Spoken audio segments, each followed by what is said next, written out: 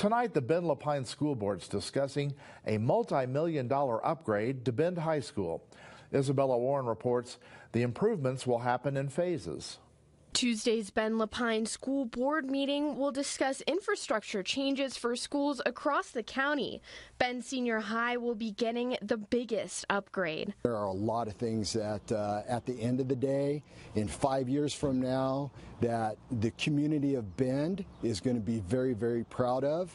Uh, it's going to be a gem. For the last few years, the school district and local architects BBT have been planning a reimagined Bend Senior High, upgrading the auditorium, football stadium, and classrooms. So, from where we're at today, we're anticipating this will take about five years to complete.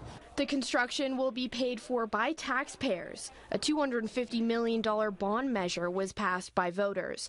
As part of the planning process, students, faculty, and the community were asked about improvements they'd like to see. Safety and equity were common goals. Still about halfway through this design work, and there is a lot of opportunity uh, to get feedback from the public and hear um, more of what they would like to see um, as we kind of finalize and fine tune the design. The construction will be broken up into three phases, with the first phase beginning in June of next year. I Hall and C Hall will be demoed and that demo process will happen over the summer.